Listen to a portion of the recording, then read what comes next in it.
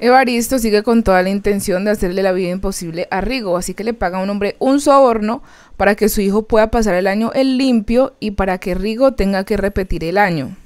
La guerrilla llama al tío de Michelle para seguir con sus extorsiones. Este está en un rao.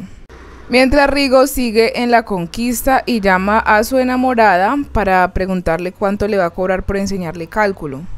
Pero Michelle se ofrece a enseñarle gratis, le dice que le sale más barato ir a su casa que ella ya le da las clases. Pedro le dice a su mujer que no quiere a Rigo en la fiesta de graduación de Michelle, que si va, él es capaz de que él mismo lo saca.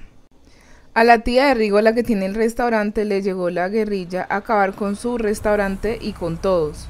En ese momento llega Rigo y su tío, pero salen corriendo para poder salvar sus vidas.